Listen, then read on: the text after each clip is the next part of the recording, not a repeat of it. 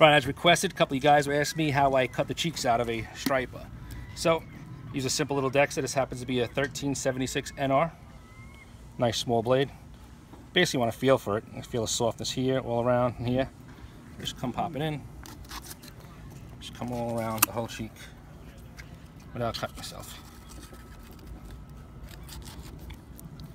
And basically you want to come in around it.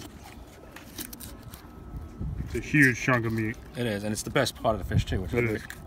Now, you sometimes you could actually just rip it right off the skin right from here.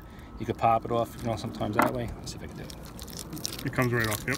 Fluke, same thing. Yeah, so you pop it off like that, and then just come back in, wash your fingers, and just take it off. There's one piece coming off. It's a scallop. It's a That's giant right scallop. there. There's your cheek meat. That's basically it. this is the size of my hand almost. Just to give you perspective. Yep. That's Elias on the camera there. You guys know him. Check out his YouTube channel. There you go. What is your YouTube channel again? Elias V Fishing. That's a serious chunk of meat though, hmm. actually. And on the same side over here. Can you feel it? Goes right in here. Just come all around it.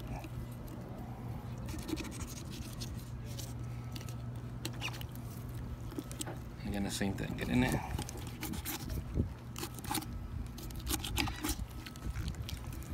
Cut up.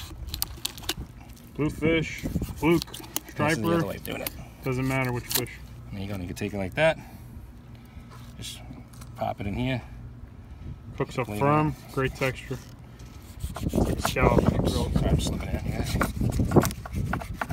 That's another way if you want to do it that way. Mm. And we got our friend the beta.